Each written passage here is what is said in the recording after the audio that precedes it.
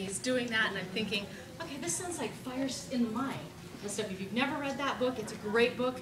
It's a lot about what he was talking about with passion and um, looking at experts, what makes a person an expert, and it's almost the exact same steps, the passion with it. So there's my librarian spiel for the day. I'm, I'm there. I'm done. That's the What book. was the name of the book? It's called Fires in the Mind. I knew somebody was going to ask me that. I'm thinking it's like Karen Cushman or something like that. It's red, it's orange cover, has a kid on the front. He's I know that.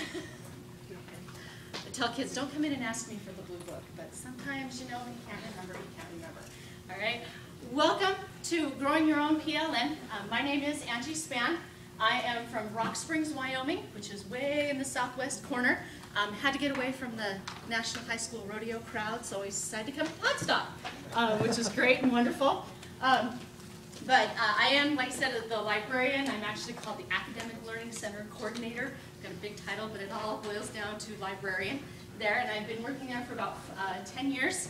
That was actually my high school that I graduated from. So I'm back home um, in my hometown. That lovely high school photo, yeah, was from them. So um, hopefully everyone's in the right room. This is the room that you wanted to be in. Right. Um, this picture, took just the other day. This is a table in our back room um, at the ALC. And every day, probably anywhere between about two to 10 teachers sit at this table um, every day. And we talk about all sorts of things. Um, yes, we do grumble. We've probably solved every education problem in the world. I know we have, um, sitting back there. And we talk about kids, but oftentimes we do talk about what's going on in classrooms. And we discuss new things, new ideas that we've come up with, maybe come across. And for some of the teachers, I know this is probably the only place that they sit down and talk about those things. Maybe they went to a conference, right? And they don't necessarily come back and tell the whole staff. They tell it in small groups. Okay? And so I have always been one, being a librarian, who always wants to go and get information. For me, this isn't enough. Right? But I want to ask you all, right? Um, and I'm just going to ask instead of going here since our time's a little bit short. Um, I was going to use a back channel thing called Today's Meet, and if you're interested in that, let me know. Come talk to me afterwards. I can tell you what that is. But how do you learn or you grow professionally? How do you learn or grow professionally? What do you do? Think about it. What do you do? Network. And how do you network? find colleagues that are in the same field and interest and inspired in, in different ways. Within your building or No, within your always. district? Not, no, Where? outside of the learning communities, all the different learning communities in, in the area even. Okay, in an, in an area, um, or maybe even like here at a conference, you network with a few people that are at conferences. All right, how else do you learn? PLCs, PLCs, um, are they again in your building? yes. Yes, okay, so within a building, maybe a, a limited group, all right, with it. Yours could be expanded out a lot more, yeah, with it. All right, how else? look for it on YouTube, Google it, or throw it out on Twitter and ask the question and see if someone responds. There you go, and you, you, you got it right there, all right, with it. Pull it out from that building, all right? Pull it out from that table, all right? And that's what we're gonna talk about today is ways in which you can do that and to build what is considered a personal learning community. I'm gonna show you a video here. Hopefully it comes up. See if I can make this full screen for you. Okay, what are those personal learning networks?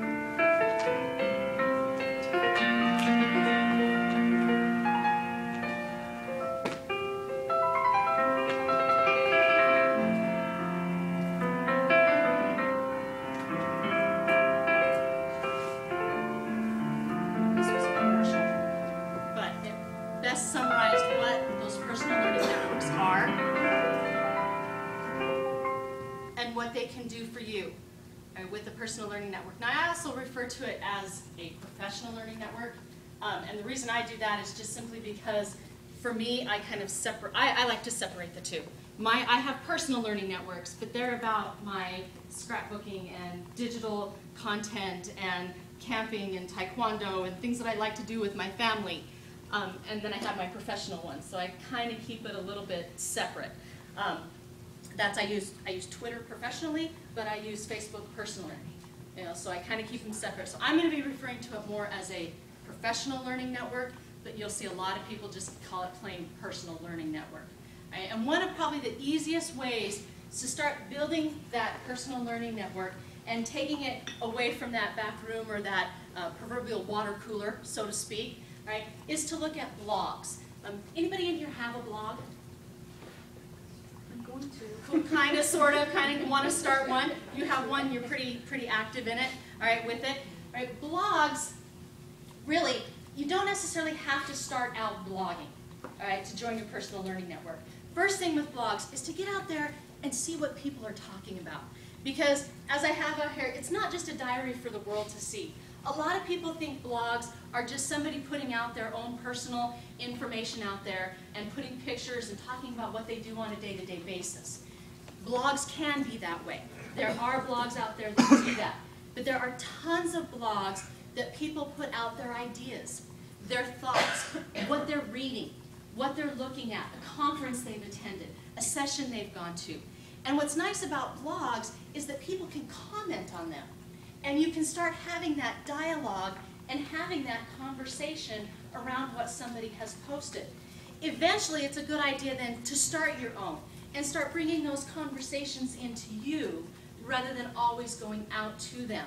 And with blogs, one of the things that um, you want to do with blogs is not have to sit and go to them every day. Because you're going to find once you start looking for blogs, and Google, Google actually has a blog search that specifically goes out and searches blogs. So if you want to know a blog on a specific topic, you can go to Google and go to their blog search, and you can go find blogs that are, that are um, of interest to you. And what you want to do is you're going to find there's tons of them out there. You're not going to spend all of your time going to each one to see when something's new or anything like that. And so the best thing to do is to get what's called a reader, a feed reader. And every blog has with it what is called an RSS feed. Does anybody know RSS feed? Give you a definition? No? No? Real Okay. simple, really simple. Right, real simple syndication is what it means. And what it basically does is it takes that information that's in the blog, breaks it down into a very, very simple um, software type thing, the, the whole technical uh, thing behind it, and brings it in so a reader can read it and brings it to you. It may strip away some graphics. Um, it may strip away a few other things so that it comes in in a very simple form. And then you go to your reader and you can read that blog. Or you can see just a little blurb of it, a little tease, to see if you actually want to go out and read it. So today what I'd like you to do is we're going to get you set up on a reader, okay, so that you can start looking at blogs. And so I use Google Reader. Um, and I know a lot of people are like, I'm not trying to be a commercial for Google or anything like that. I used to use Bloglines, well, they shut down. So I went to Google Reader. Um, and there's others out there, but if everyone would go to Google, if you have an account, log into it. If you've not started on Google Reader, we'll get you started. If you do not have an account on Google Reader, right, go and create one. Just, free? just- Is it through your Google account, through your Google account? Yes, it's through a Google, your, a Google account. So if you already have a Google account, you've got a Gmail account or something like that, just sign into that account. Right? You will already automatically have Google Reader. You just may not use it. Now, I see a lot of people in here who have iPads, iPods, different things like that. There are apps that you can get that once you have signed up for Google Reader, uh, or not signed up for Google Reader, but once you have your Google Reader going and you have some feeds in there, then you can go and there are apps available that you can download and it will actually bring your Google Reader feeds right into that app. So you don't necessarily have to go in and log in to Google Reader every single time all right, with it. And if you'd like to know those, um, more than happy to let you know um, some of them that I have used.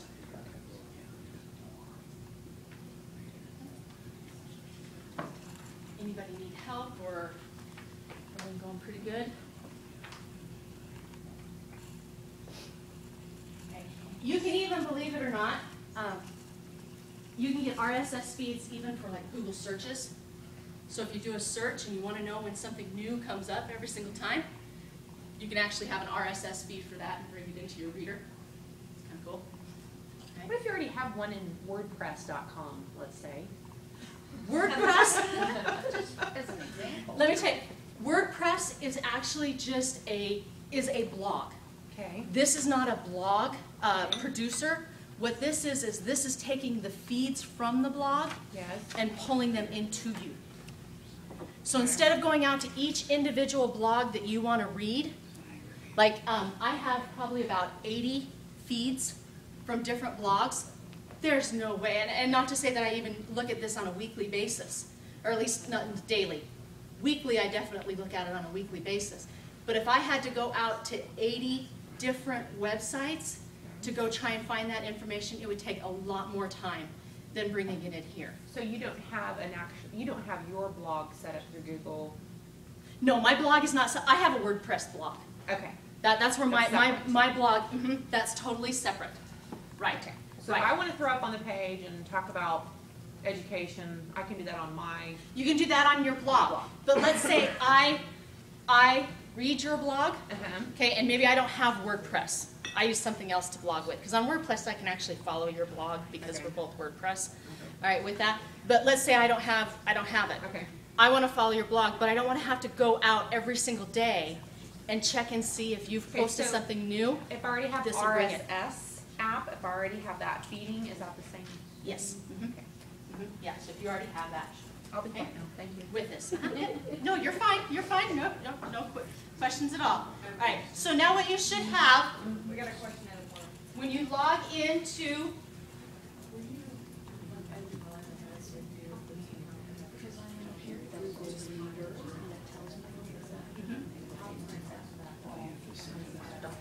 She's gonna show us how to set it up.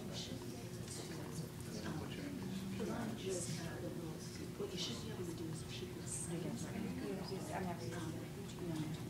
But on my LinkedIn, it has like all these blogs.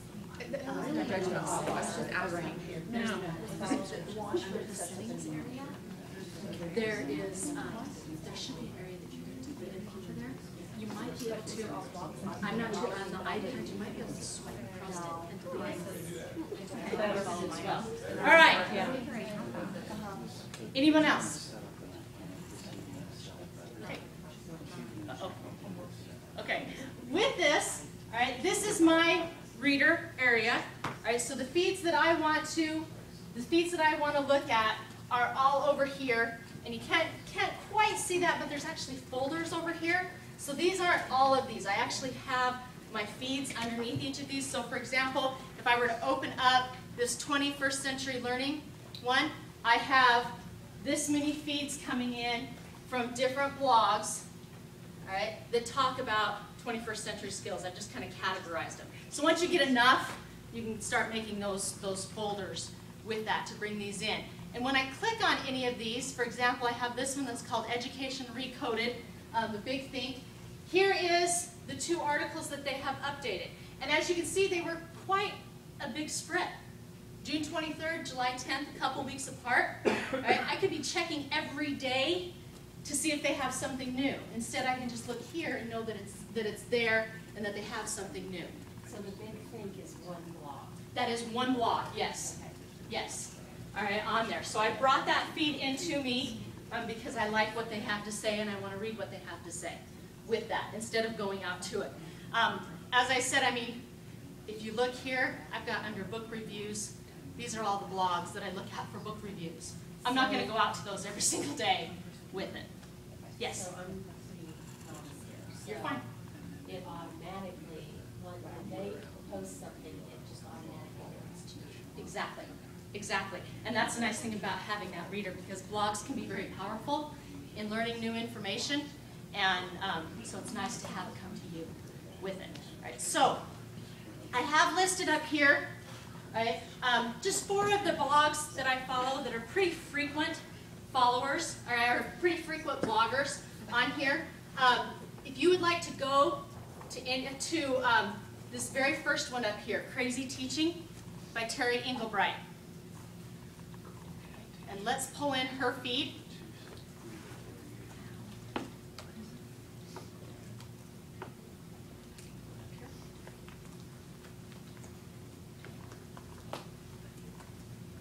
I don't know why it gave me a long one on that one. But it's just um, www.crazyteacherlady.com.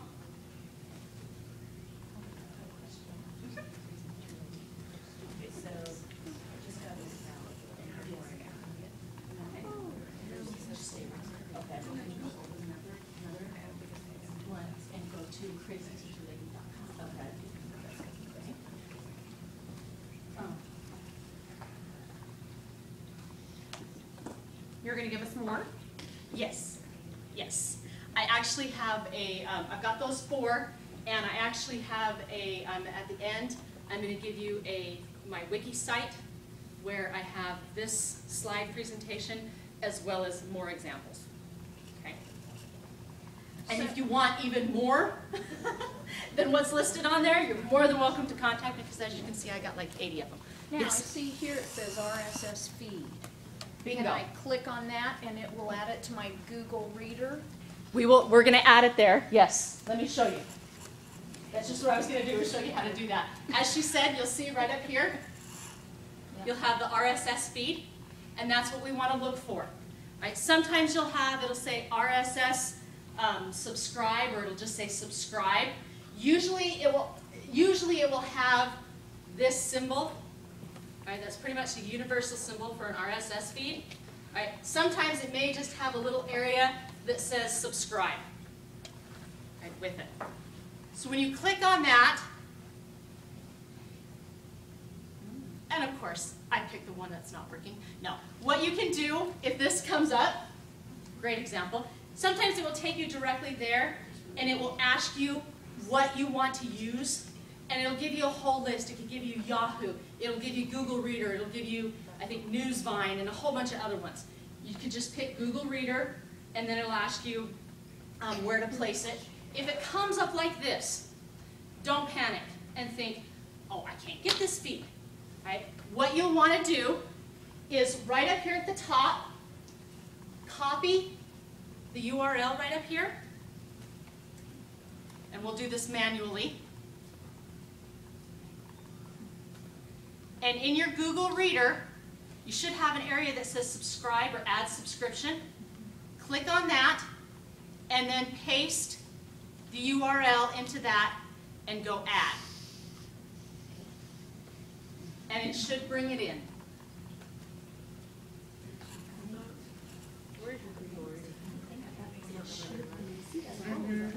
It does, but when I paste mine,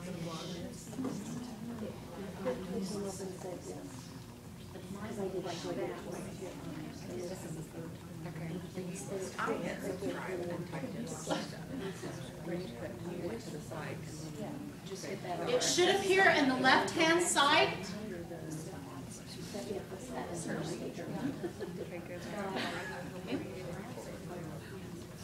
Now on this, if, for example, I wanted to look at this flipping school. Now, I know mine's going to look just a little bit different. Those of you that are also on laptops, it's going to look similar to mine. You on iPads, it's going to look probably a little bit different. Um, but if you were to click on one of the titles, this one actually brings in the whole article. Here it is right here. I don't even have to go out to the blog if I don't want to. Now, if I want to comment, if I want to add a comment, then I would need to actually, I could click on the title in here, and I could actually go to the blog, and I could make a comment with it. If not, if I just want to read it, I can just read it. Okay? This is where I'm at when I hit the RSS reader. You're good. So you should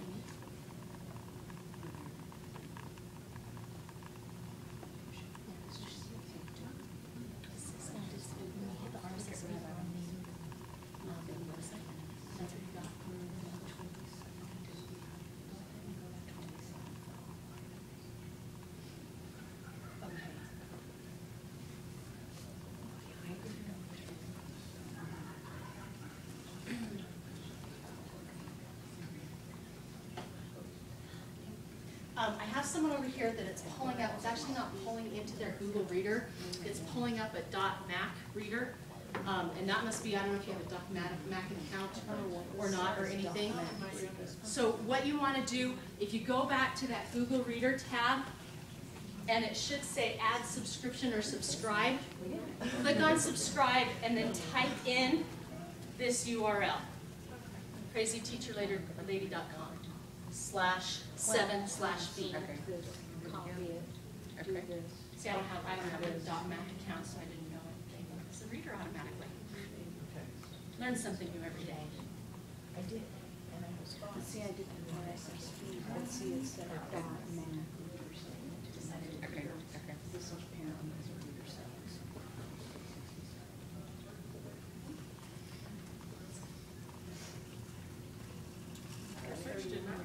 There, crazy teacher.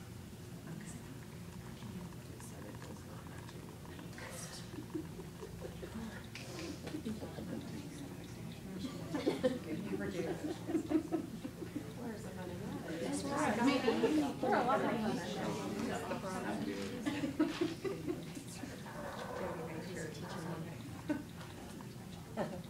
Teacher or teacher? Teacher. Lady dot com. Slash seven. B. Yes.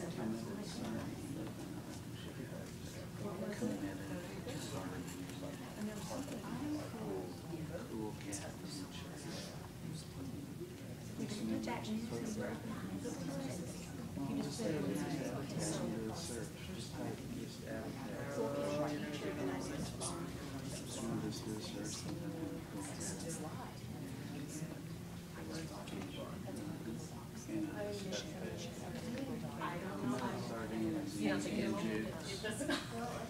I do know how that happens. All right. Any other questions? A couple of others um, that I like uh, on here.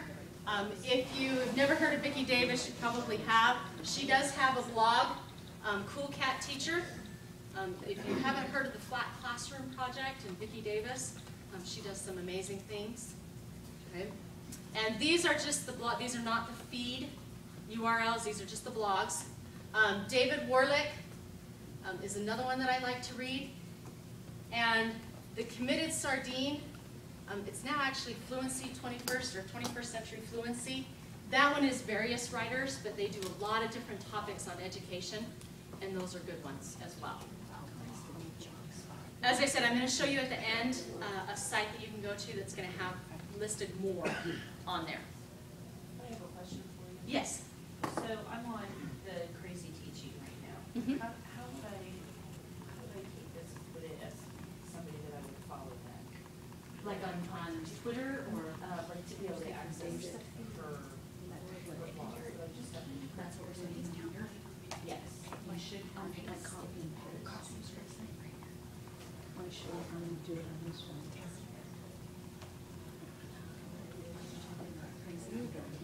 I did, and I went so here, is that, yeah, you had me go keep down that. And then copy, and then go back to your reader. See, and I'm in that manager too, I have somebody. Crazy teacher And then you just paste it. dot com. And search and it'll have it. Slash, oh, that's all right. Come up with something. Oh, okay, click back on there. I'm gonna keep, going and then I'll come back. All right. So blogs are one way and a pretty quick and easy way that you can get started with this. All right, start slow. Like I said, I've got 80 feeds in there. I check it once a week. All right, or I'll go in and I'll check my book reviews one day and I'll check something else another day. All right, um, don't get overwhelmed. Don't go out and just start hitting feeds and getting pulling a bunch of them in. Be selective. Start small okay, with it, because it's very easy How to do you get. delete a blog, like if I, I added a subscription, but then I look at it and decide I don't really want that. Okay, um, on, it's gonna be a little bit different on the iPad. All right, just a little bit because see, I have this thing right here that says like um, feed settings. I have um, this over here that I can go in and I can delete. All right, with it, I believe I can. Say I can't right click on it. Um, so it's it acts a little bit differently. You can. But I could open it up. Yes. Yes. Uh-huh. I could delete it. Mhm. Yeah, definitely, definitely. I have actually my feeds, I have my feeds coming in on my phone, on my computer, on my iPad, um, not on this, but yeah, I have them coming in all over, and it, and it updates. So if I read it in one place, and I get on my computer the next day, it's gonna show that my numbers have gone down, because I've already read those. Okay, yeah, so it all syncs wherever you are. Right. Okay, There's two M's and two T's. so, Found it now. the next thing to use Thank you. all right, is Twitter. Okay, this is the next big step. Okay, how many of you Twitter now? Dealt dealt with it. Okay, how many of you? Okay, how many of you actively Twitter? Let's put it that way. Okay, awesome. How many of you have an account but you're not too sure what to do with it? Okay, there we go. there we go. Okay, so Twitter, Twitter um, is actually probably one of the most powerful professional learning networks out there, really. Um, if you start harnessing it well, and um, it's not about telling the world your every move. I have a, I have friends that go, oh God, I don't want to get on Twitter because then I'm going to learn when someone goes to the bathroom or something. I'm like, no, no, no, no, no, no. And they're like, I don't want to follow celebs. That's what the kids do. Yeah. Don't, no, no, no, no. I have no celebs.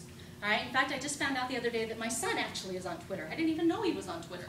All right, with it, and he follows his bands. I'm like, okay, whatever. All right, with this, but Twitter is um, very, very powerful. All right. Oh, I'll get to that in just a minute. Okay. So let's go ahead and get on Twitter. All right. Go ahead and go to www.twitter.com, or if you have the app. All right. Um, Which is better? I'm going to ask you to go online for it instead of doing the app. Um, it's going to be just a little bit different um, because the app, different places to go to search for things. Okay, with it. Twitter allows you to keep up with tons of different people across the world. Right? Blogs can take it on a world level. This really takes it on a world level. Right, with Twitter, because you can get people in every corner of the globe. Everybody's on Twitter.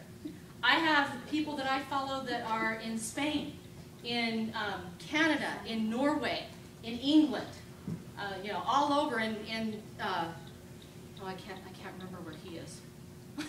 Come to think of it, I think he's like in Thailand or something like that. That you follow. And what's nice about Twitter, again, it can be that quick look to see if you want it or you don't, right, on there. With Twitter, okay, a tweet consists of very different things, okay? A tweet, as you may or may not know, you only have 140 characters. So you don't have a lot of room to go rambling on, right? And so what someone will usually do is they'll put their short part, they may have a feed, all right, or they may have, excuse me, not a feed, they may have a URL that they plug in there. All right. They may also have on there somebody that they have um, mentioned. Okay, this is the little at right here. And when you sign up and you register at Twitter, if you don't know already, the little at symbol comes before your username. Okay? So this one is at Wendy's. All right? And what that means, that's a mention. Okay? If somebody puts that at symbol in there and puts your, your username after that, then they have mentioned you. And you will get feedback as to somebody, oh, hey, somebody's mentioned you. So they're Right, not, with it. it's not like they're talking at you Not necessarily. They can. with that symbol. Mhm, Yes. They can if they want to make it public. If they want everybody to know that they're talking to you.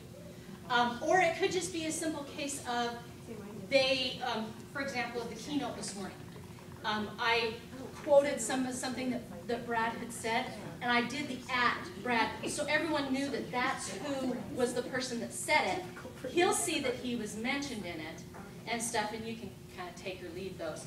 You can also direct message people and make it more of a private conversation if you want to, right, with that. There's also another big thing to a Twitter um, tweet is the hashtag. A hashtag, think of it as kind of like a subject marking for that feed. Someone has said that people in this category, if you follow that hashtag, and I'll show you how to do that here in a minute, right, that this would be something of interest to you. Right? So the people here, EdReach TVC, if you go in and you want to look at everything that's labeled with that hashtag, like I said, it's kind of like a subject or a tag with it, then you can see everything that has been marked with that hashtag. And as you can see, it's in red, so I can actually click on it even from here and see. Now, you're kind of going, oh God, I don't know if I want to send tweets out yet, I'm not too sure, and I'm going to show you a place where there's some great hashtags for education here in just a minute. All right, with that, one of the things that I would suggest to get started with Twitter is to search these hashtags. Right? And you can do that right up here. You can search for people, but you can also search for hashtags right up here. So for example, if I were to take and I wanted to search for the hashtag Podstock, let's see what people are saying about Podstock. I put in that hashtag, and then I type out Podstock. And when I hit return, you'll see all of the tweets right here that come up for Podstock. I can actually take and I can save this if I wanted to. And so anytime anything came up new in there, I would see what it is with it. So I can save that if I wanted to. All right, right underneath here, and I can save that search. So if all I wanted to do is go in and I wanted to see what people, let me just show you here really quick, what people are saying, say, about,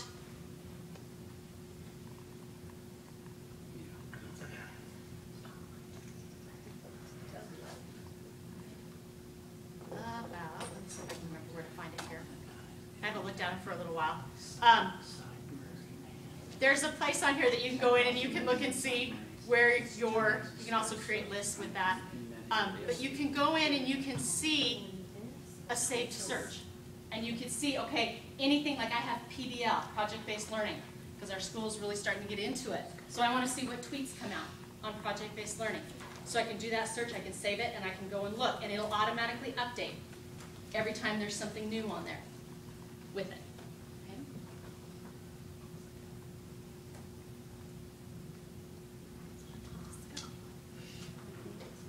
Okay? I'll find that. I haven't quite gotten all the new, the new way Twitter has changed. I haven't quite gotten all of where everything is. All right, with this. Right? With this. Okay? So that's the basic makeup. And if you, you want your followers, the people who follow you, because when you go out and you start following people, they're going to follow you back. All right? That doesn't mean, still doesn't mean you have to put stuff out every day, all the time. No. All right, with that. But they will get that information. But you might also want to spread it out throughout all the people.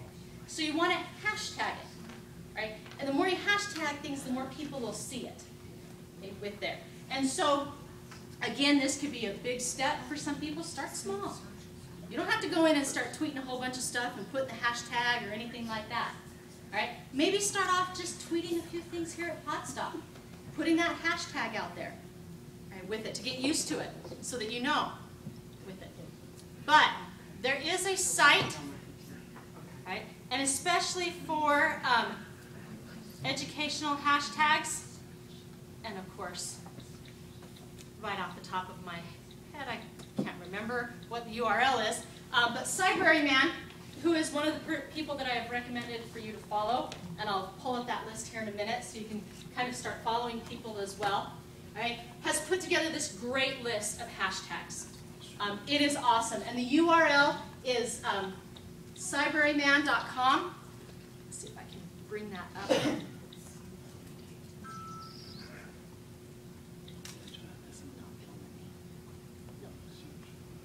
I can't bring that up. It's not going to let me. It's only going to let me make him bigger. All right? But it's S Y B R A R Y M A N dot com slash ed hashtags dot html. Now, by all means, this isn't the only list out there, but this is a great composite list. He's really put together a great list. And as you can see, he's even listed some other places you can go to with this. He also has a good list of people to follow. He has it broken down by Yes. categories. So if you're a preschool teacher, Just it has a list say, of them. yes. If you're an- a superintendent, he has a list of people there, and that's helpful. trying to think if I, if he has this on here. Don't think he has a, I don't think he has a link from it on here.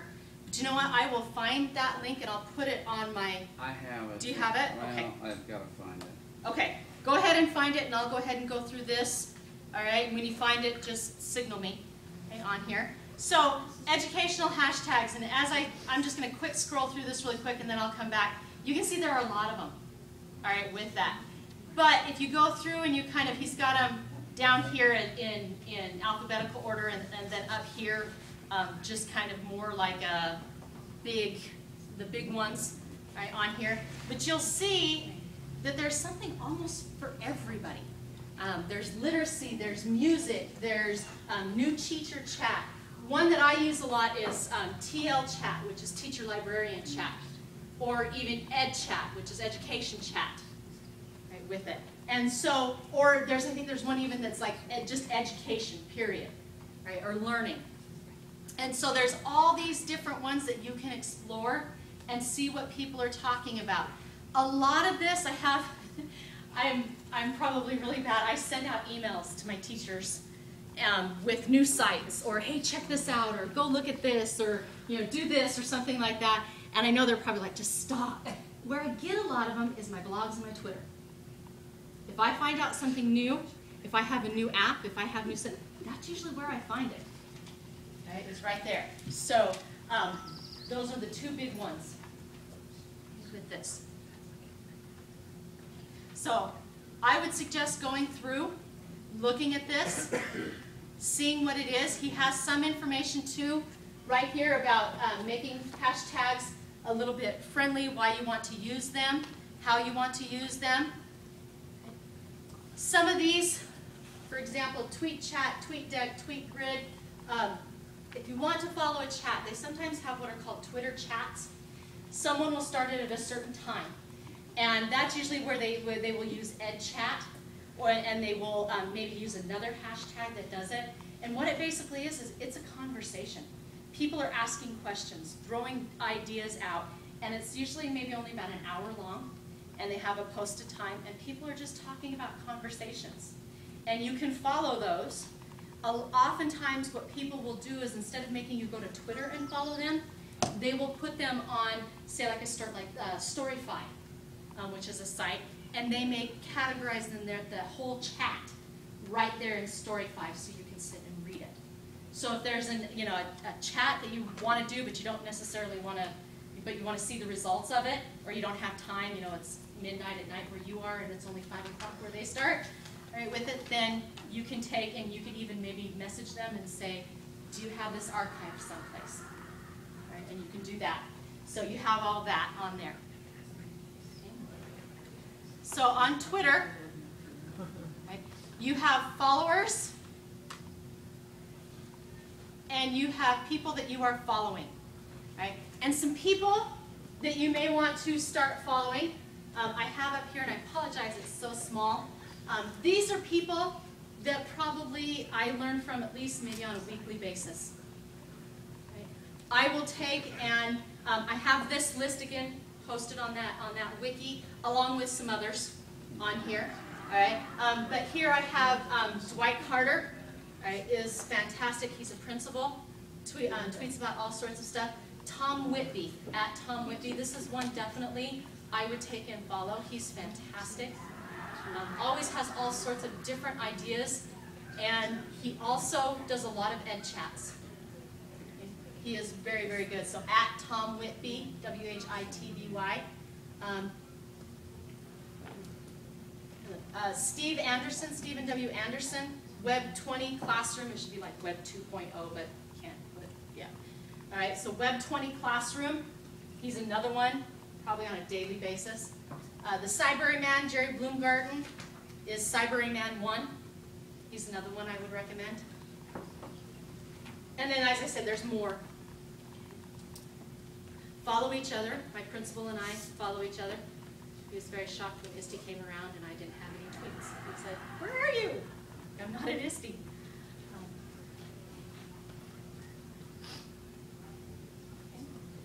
Um, We also have for our school, we actually have a hashtag for our school, and we will tweet out information about our school. Right, so that's something that you could do as well. Right, talk about those PLCs in your building. You can also expand it. You can also take it in and just have it in there if you want them to follow with this. Um, I don't know if you keep seeing this. I mean, I've had nine, nine new tweets since the last time I was there, like one, two minutes, right? Twitter can get overwhelming when you have a lot. That's why those searches are so nice, right, with it, and those saved searches. And also that hashtag search. That's why I basically showed you just that portion of it. Now, I've only got a few more minutes here, so I'm just going to kind of talk.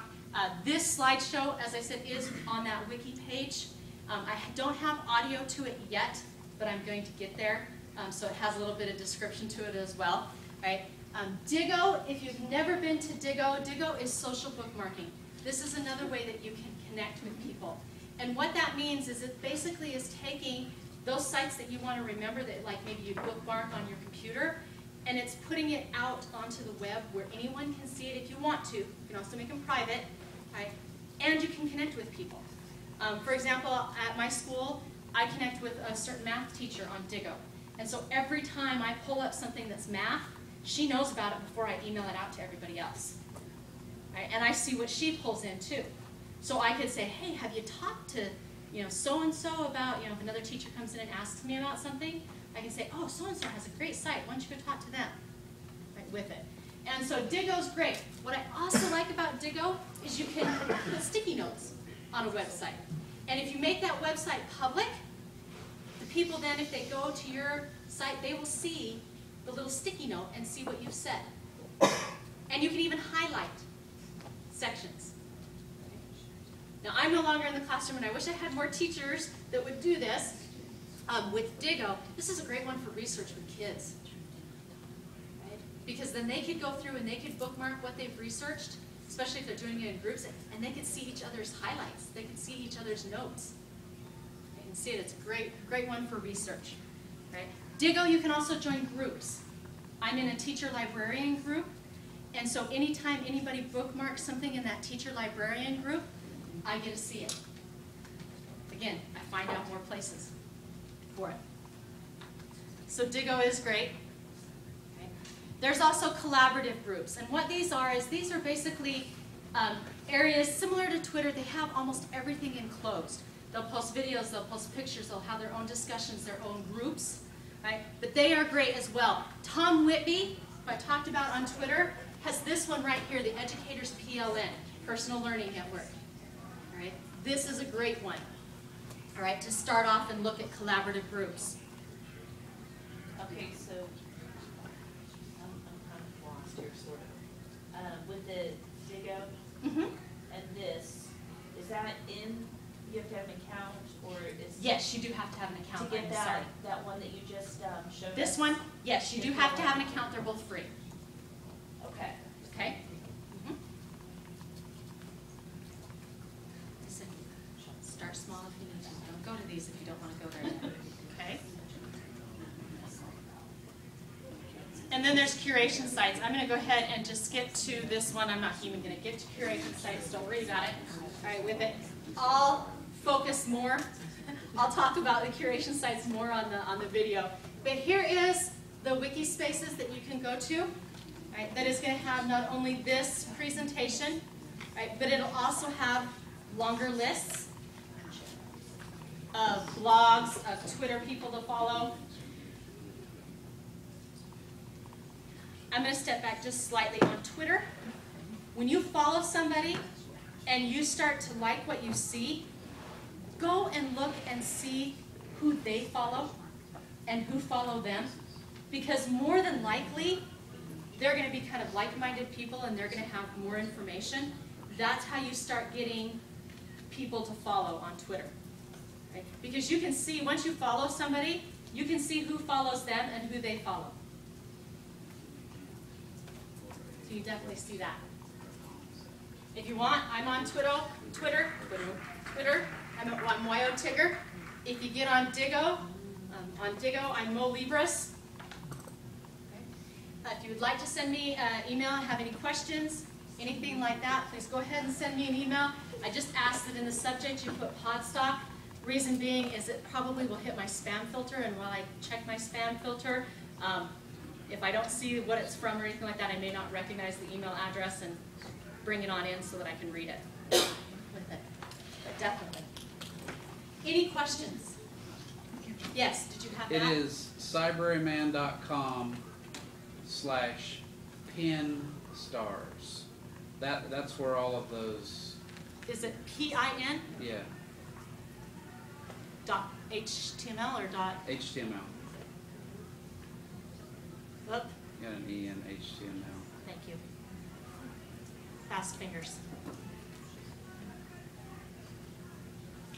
Come on. What did I not do right? P-I-N-S-T-A-R-S Yep, dot HTML. yep. That is correct.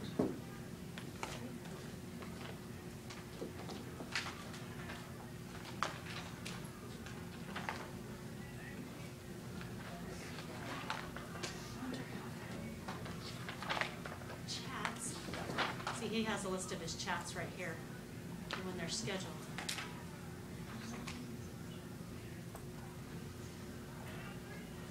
He tweets a lot. That's, that's it, you're at it now. Right here, okay. Yeah, on down. Then Oh, right here. Yeah, see, like there's Ah, English here we go. group or. Yeah, here is his, yeah, there it is. Okay, right here, so he has it listed down right here. Okay. I will get this website, or that one that you, you see, I'll go ahead and get that on that wiki site as well. I'll get it here in just the next few minutes, so that, um, on this site, so that you have that as well. Thank you very much for that. I knew he'd put it out there, I just hadn't got there yet. Well, I got it thanks. at ISTE, so. That's there you go. Cause I'm go. a newbie on Twitter, so. Aha, I was yeah. trying to figure out who to follow. You want whoever you can. And like I said, once you follow, some- see who they follow and their followers. That's a good way too. Any questions? I think we just got a couple more minutes and stuff. Thank you very much for attending. I hope you've learned a lot. And I said, if you have any questions, thank you.